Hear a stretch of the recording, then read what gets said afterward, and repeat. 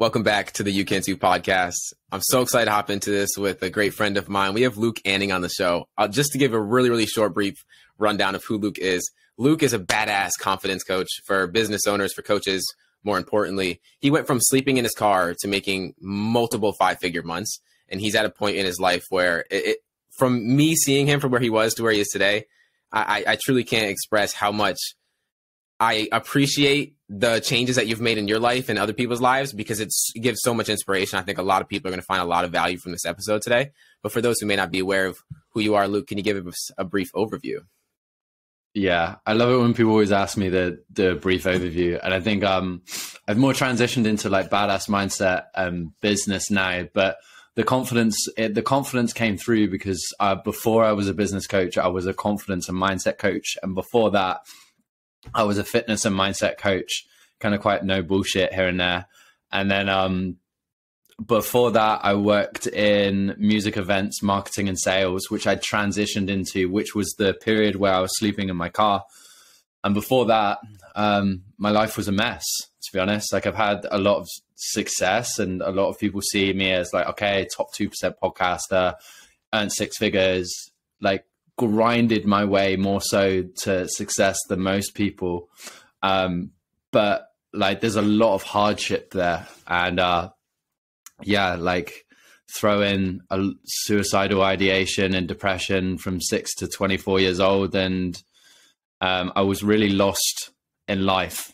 Like I think a lot of people are. Like I, I didn't know what to do. Society was telling me to do one thing, and I followed that. And then didn't end up working out and, and I really had no strife. I had no goals. I remember being 24 years old in an apartment with a girlfriend that we'd had a toxic relationship up to that point and both t- took to tango. Like I, I, I was not a, uh, a healthy person to be in a relationship with either.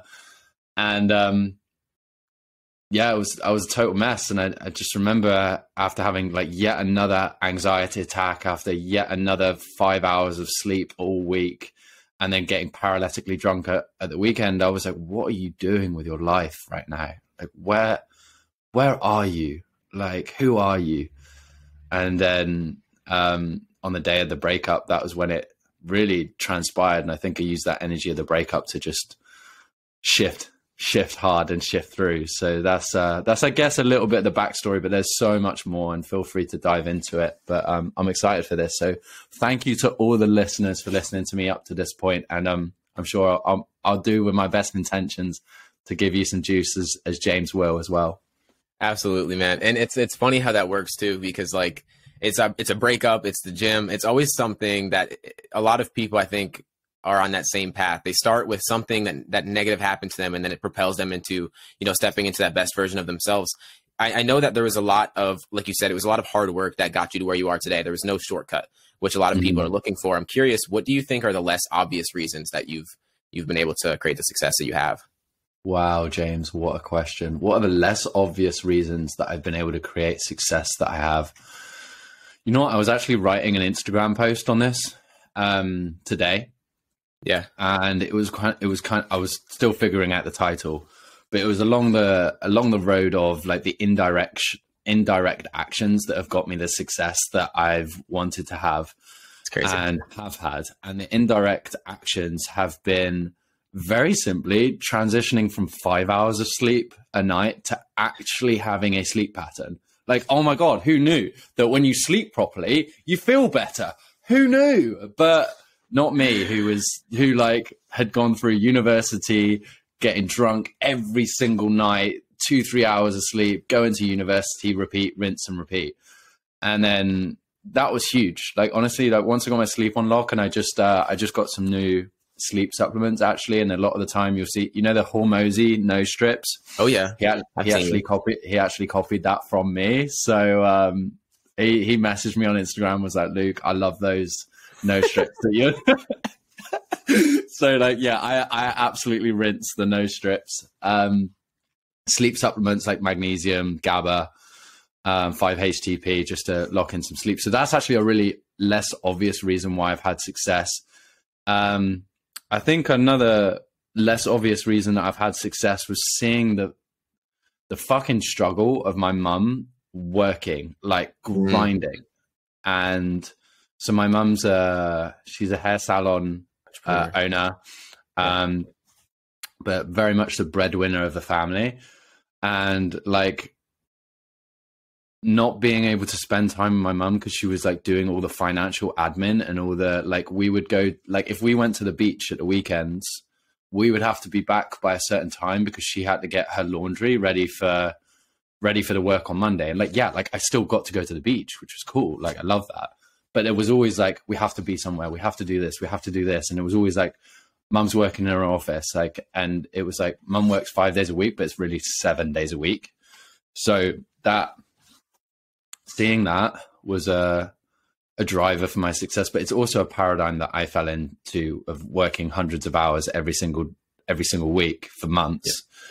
Um and I didn't actually earn more in my business until I actually stepped those hours down. So that's a less obvious reason I earned more. So uh the past year gone I don't really like to talk about figures because it, it blows up the the part of myself that I don't like. But um when I had my second biggest month in October, I was only working two to three hours a day. Um, and that really, really forced me to do high priority tasks, like, really forced me to do high priority tasks and not fill my time with just pitiful shit that doesn't matter, to be honest. So, yeah, I would say those are some really great drivers. I appreciate the question, James. Yeah, absolutely. I appreciate the answer, man. I know, I know, and I'm excited. Like I said, I'm, I'm excited to hop into everything here because you're you're someone. Like I said, when we first, we both to give people context, we both joined the same coaching program to essentially really mm-hmm. hone in on our business and, and build our coaching skills. Seeing you in that, going from you know being one of the the leaders of the of the entire program, it was it was really exciting to see your journey because it, it really encapsulates what I'm trying to do with this podcast, really at the end of the day. And you not even thinking of it, it's just you being who you are, doing what you're doing and trying to make the impact that you're trying to make. In the same process, you're inspiring others to do the exact same thing. And Mm-hmm. and and especially going from, you know, working so much to prioritizing the things that w- make you work less. I'm curious what beliefs you had to let go of in order to be able to do that because I know especially as an entrepreneur it's something that is very difficult to let go of. Yeah, it's um that belief is is one of the hardest that I've I've had to overcome because it it tackled with my paradigm of feeling safe. Mhm. And if you look at like Maslow's hierarchy of needs, um, being safe is one of those like first pillars. So Yeah. like if you don't have safety, you're not going to prioritize anything else. So I'm there tackling with my paradigm that made me feel unsafe, which was cutting my work hours out. And I learned this just l- literally today. Um, is that's a trauma drive. So aspect you are working because of trauma, and you feel like if you stop, then that makes you less worthy. It makes Yep. you not feel enough. It makes you um, not feel safe, like like I did. And I was I was genuinely at that time getting pain in my uh, sacral and heart chakra like every single day. Yeah. It felt so weird. And at that time, I was only sleeping like three, four hours a night because I decided to go in a uh, hostel because I hadn't had a hostel experience. So I was like, oh, I'm going to try a hostel. I haven't done that before. And after one day, I was like, oh, fucking, I'm not going to a hostel ever again.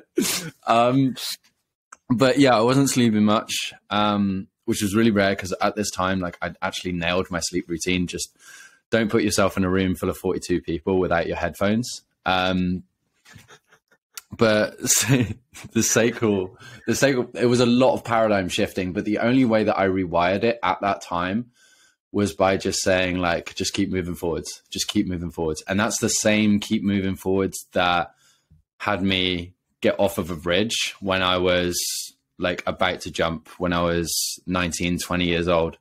And it's the same thing that has moved me forwards when I pulled out three credit cards and I was 10K in debt and I didn't have a flight back to the UK from US because I didn't have the money. So I was like, just keep moving forwards, just keep moving forwards.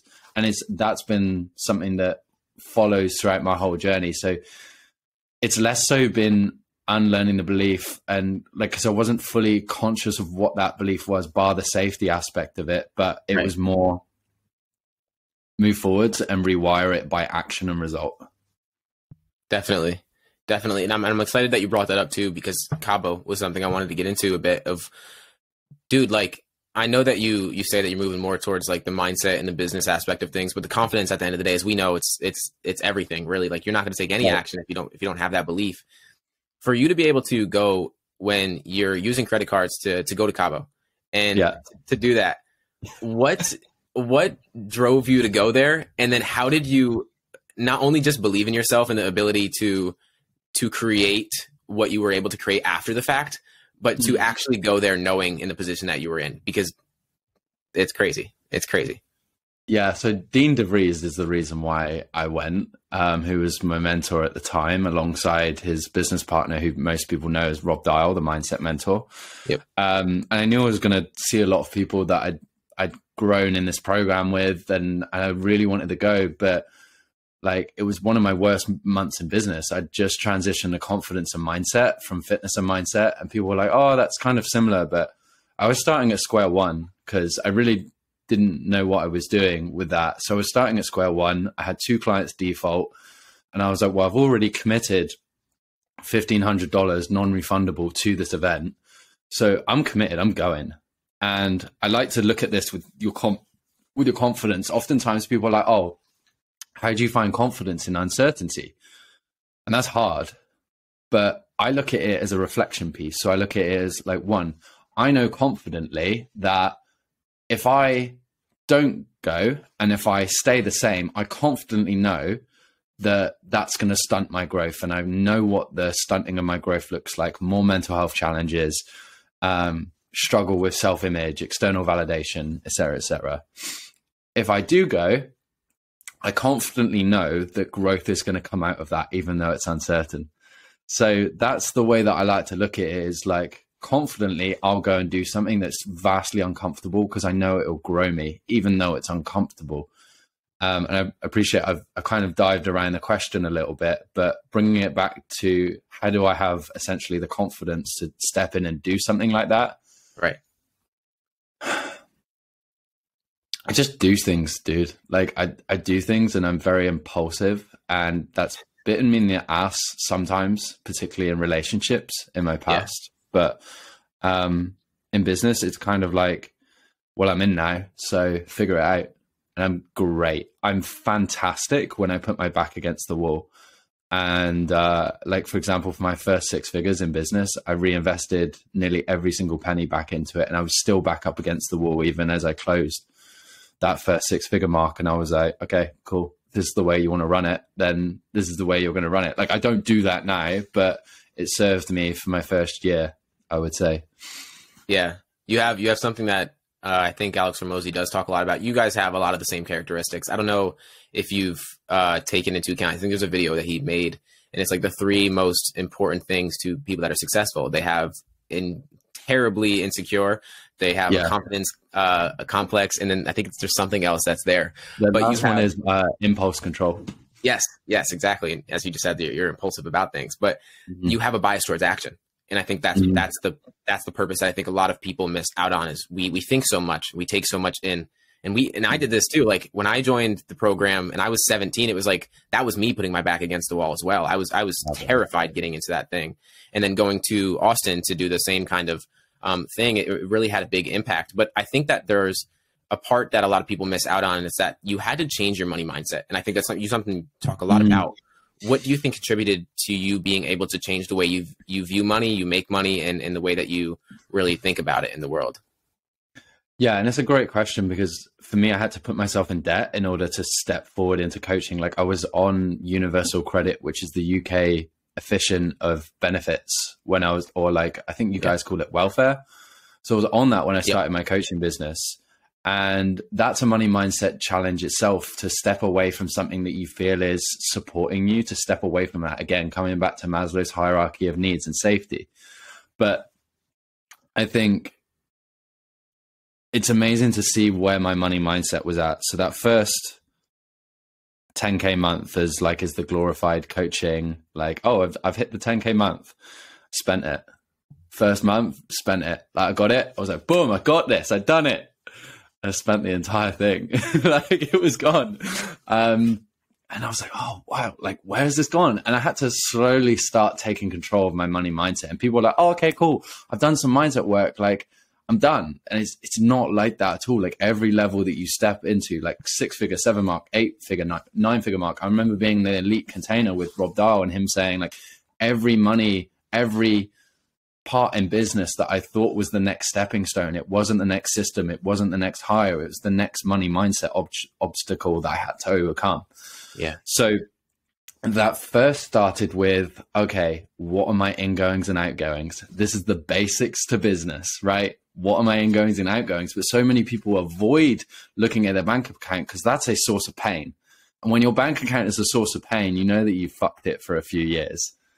So you've got to first overcome that. And I started doing that by actually looking at it every single day. I was like, this is what you've got. And then the next thing was looking at how much debt do you have right now? And at one point it was 18k if you included the payment plan that I was on with another one-to-one coach that I was committed to finishing and I'm not somebody that will ever back out on a payment plan like that's so out of integrity and if I mm. did that like if all of my clients did that because I did that once I'd be like okay cool like obviously that's going to happen right being 18k in debt with, on a crazy payment plan I had to start really tracking my finances effectively so I just got like mint money money pot. And then any money that was coming in, I started allocating that to pots. So I was like, okay, 40% is going to stay in the business. 30% is going to paying off the credit cards. 20% is actually going into savings. So that might, people might be like, oh, isn't that a bit backwards? Because you're, you've still got credit card debt and you've still got savings. Yeah, well, guess what? There's six, seven, eight, nine figure entrepreneurs out there who are in debt. So you're always going like, like you can use the bank's money for you to step forward like you don't have to use your own money. If anything, it's probably a safer option. So I do it that way. That way, I'm effectively paying off paying off my credit cards, but I'm also building up a somewhat safety blanket so that if my legs got broken or if whatever happened and I couldn't go out and about, and I appreciate I'm an online entrepreneur, so amen. There's, there's, a lot you can do.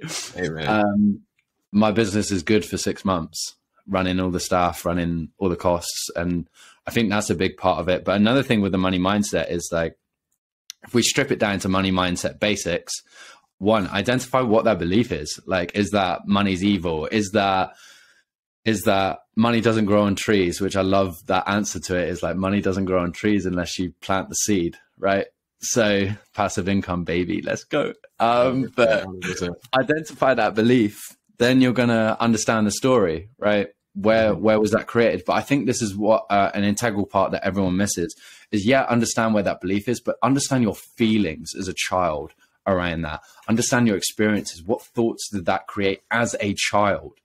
And then you almost like sometimes i like to do this on a deeper level with my clients is write a love letter to that child who was hurt. Like assure them that they are we're bringing back in the safety as aspect of this that they're safe that they're okay that it's okay to think differently.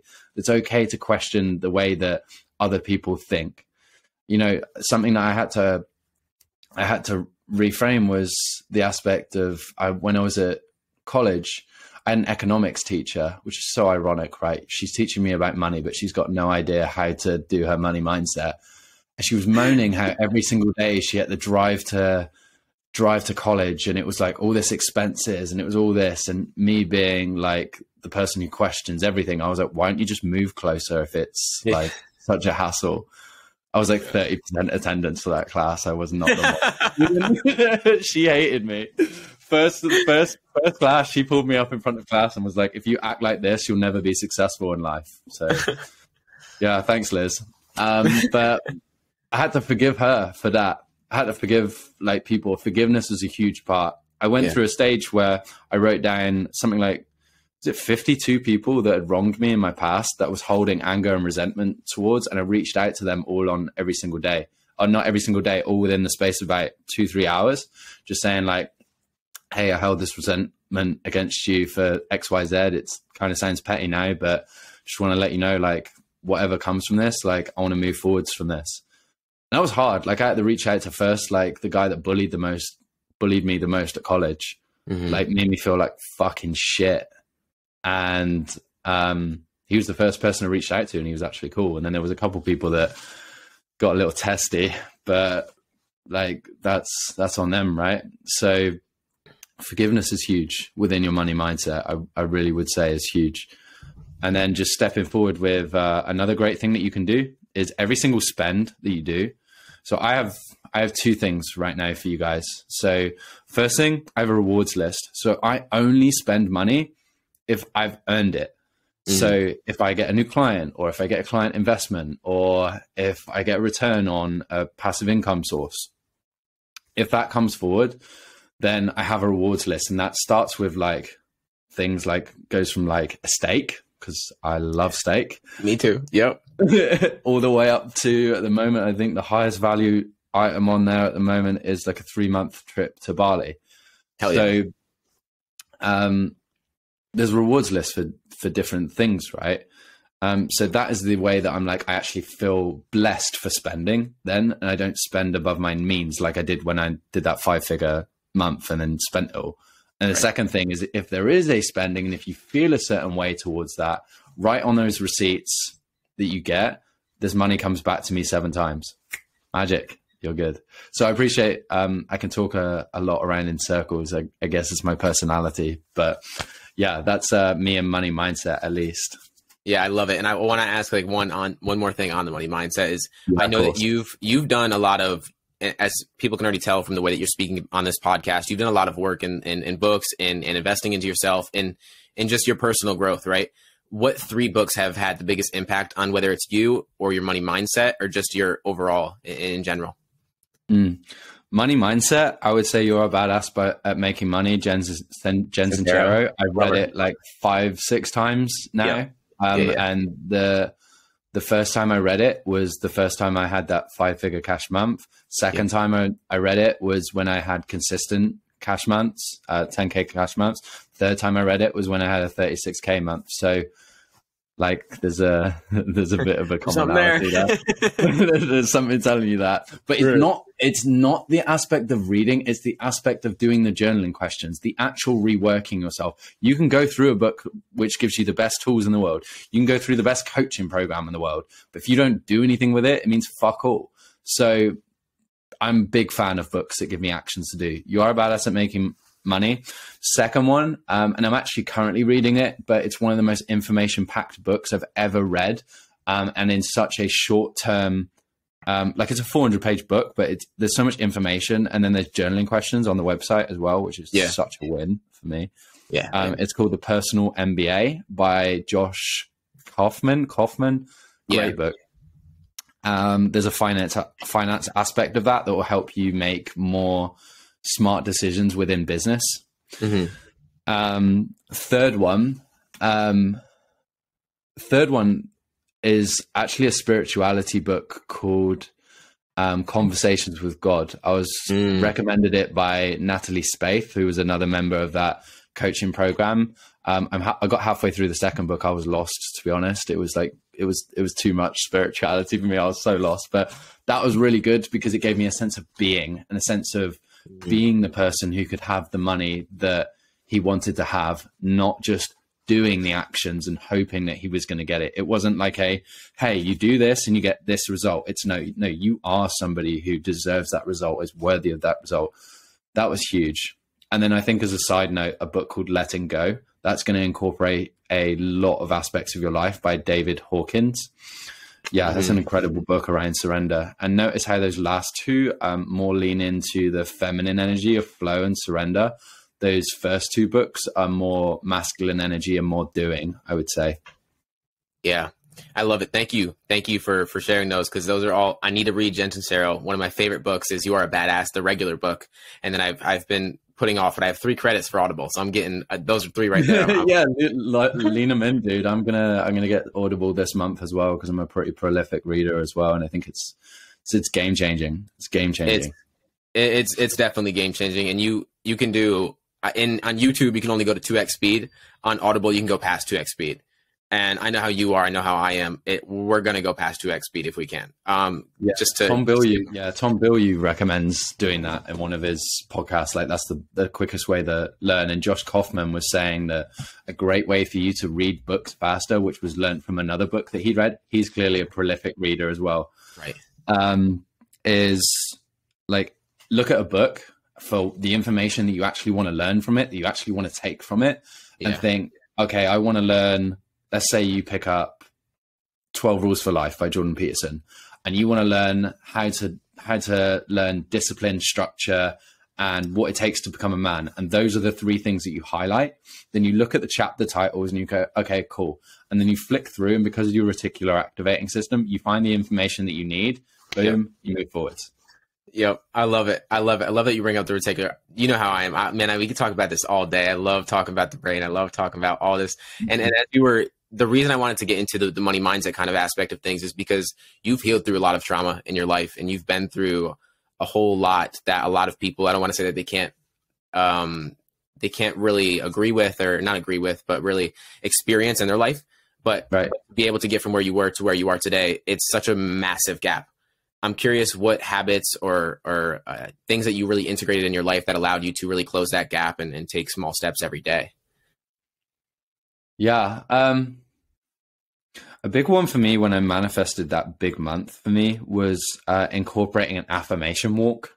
Yeah. So I kind of wanted to double down on walking and doing affirmations at the same time. So I literally have an affirmation book, which was called uh, 52 Weeks unleash your the power of your subconscious mind by Dr. Joseph Murphy. Really, it's a book about there's just 52 weeks, and it, you get a set of affirmations for each week, and then like he kind of pitches his services and his testimonials at the end. There's a vast amount. Like I'm like, cool, dude, do your thing. Um, but I would say um, incorporating an affirmation walk in my mornings was huge. Mm-hmm. Um, it's something that I still do. And if you're looking at it from a, a, brain side of things, when you do an affirmation, it activates the same part of your brain that it would do if you were eating a really nice meal. So if you're having a really nice meal, you're having that steak that we talked about earlier. Oh, baby, you get me hungry. oh, man. like, sorry, guys, I'm so sorry.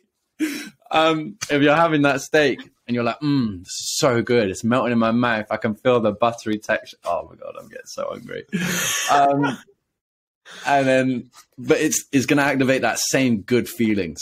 Yeah. So affirmations when you can land them in, I like that, but they also work from a a repetitive standpoint, and you do reach a block. You will reach a block with it, and this is where you've got to really affirm in the right way because you can create a dopamine situation for yourself where you think you've achieved something when you actually haven't.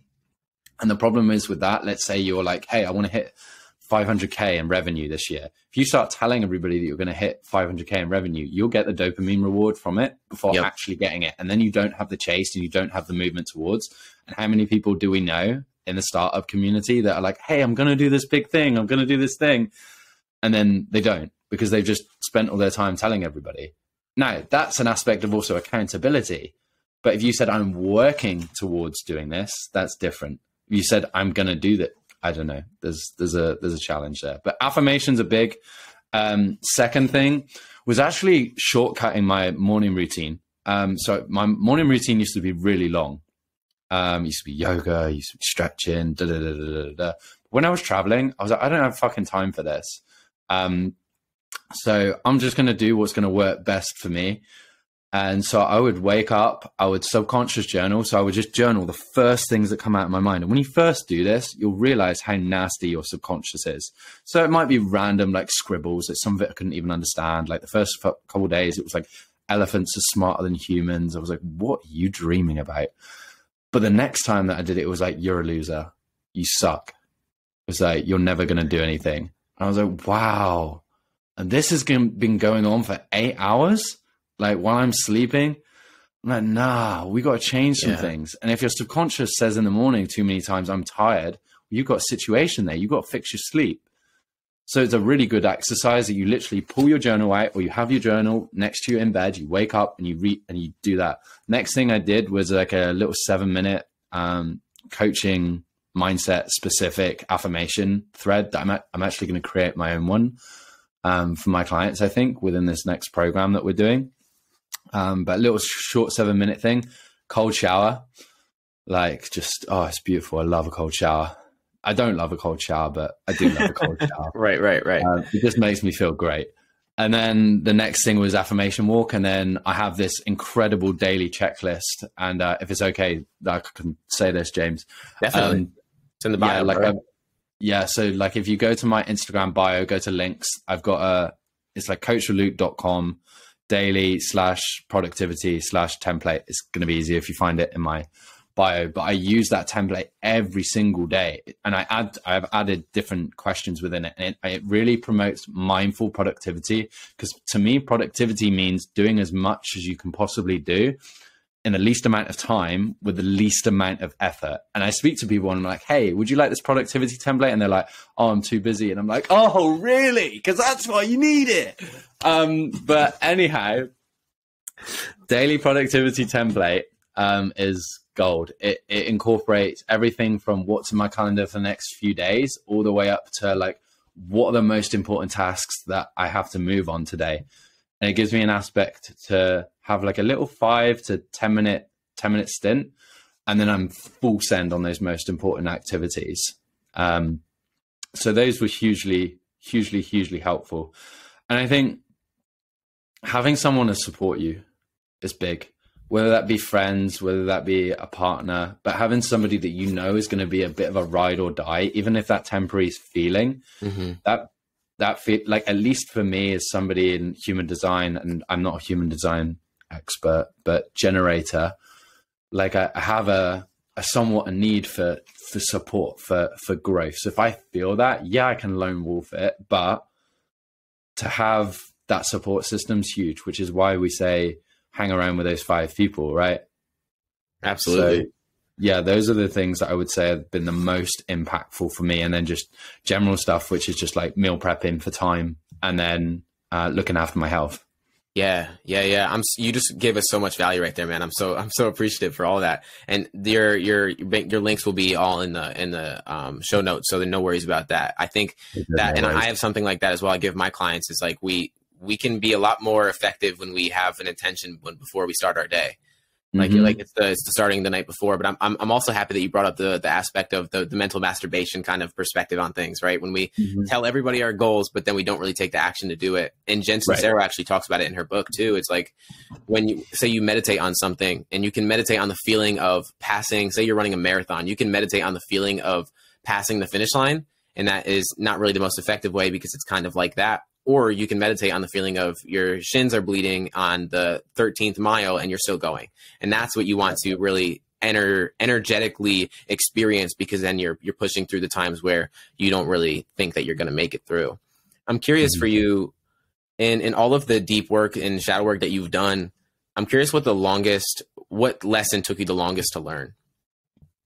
Get the fuck off my phone That's honestly been the longest one, but it has some it has some depths to it. So um, I used to get in a lot of trouble when I was a kid because I would want to spend time with my parents, but my parents were always watching TV, and they would tell me to go to bed.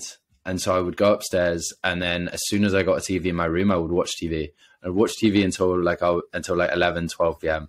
Um, led to an incident with a videotape being thrown at my head at one point. Um, and um, yeah, just I think that has honestly been the longest longest standpoint. Phones are now like getting more and more addictive. Anyhow, so in when I was with my girlfriend at the, my girlfriend at the time, that that relationship, it was I was on my phone, and I was always like searching externally for something that I wasn't getting internally. Mm-hmm. So actually getting off my phone was the most challenging thing because I was always given a reason, be like, oh, that's the reason why I was doing it. Oh, that's the reason why I did it last night. And I'm actually, when you look at it from like a, a mentor of mine, Simon Parsons, great guy, Love left Simon. hand, he gave me a left hand, right hand analogy. So if you guys are listening to this, what I want you to do, or just do this figuratively if you're driving, um, hold up your left hand and your right hand. And from there, I want you to look at your left hand and you're going to hold up the fists they're going to be fists, hands closed. Look in the left hand. And when you look in the left hand, what's in it? You're going to say nothing. And they'll be like, right, okay. And now open up your right hand, but stay looking at your left hand. And you go, what's in it? And you go, nothing. But could you know for sure that nothing is in it? Like figuratively, like theoretically, even though you don't know what's in it, could you for sure certainly know what's in it? And there's an answer. There's like a slim slither of hope that you don't fully know what's in it. Mm-hmm. And the point is being, when we focus on the left hand, when we focus on our past, we often just justify all of the bullshit reasons why we stay there. so, oh, that's the reason why I'm staying on my phone. Oh, that's the reason why I'm a victim to my circumstances. That's the reason why I'm not fucking good enough. That's the reason why I'm broke. That's the reason why I'm not motivated. That's the reason why I'm depressed. That's the reason why I have anxiety issues. But when you look at the future, which is the right hand, that's where you want to look. Look with who you want to become. Look with who you want to be.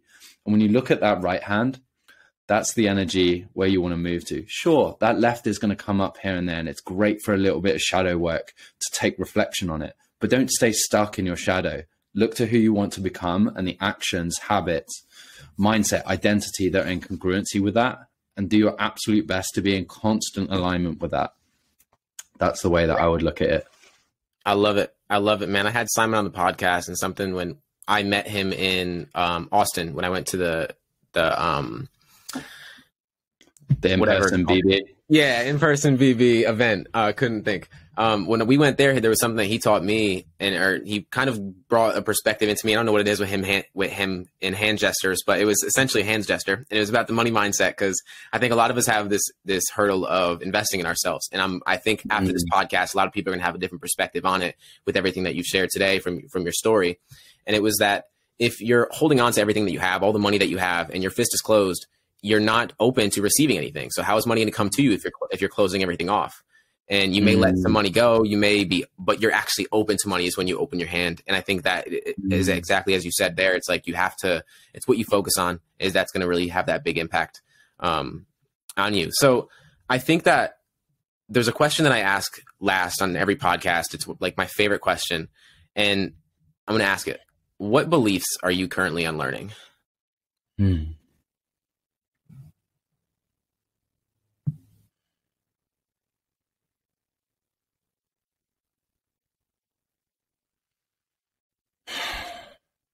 What beliefs am I currently unlearning?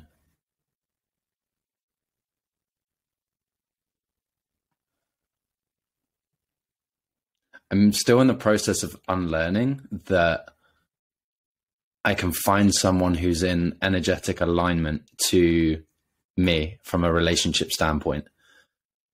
I find I move quite fast for people. So sometimes it's I like to see that as like a reason for not being in a relationship. And I've had so many platonic friendships and I've slept with more people than most.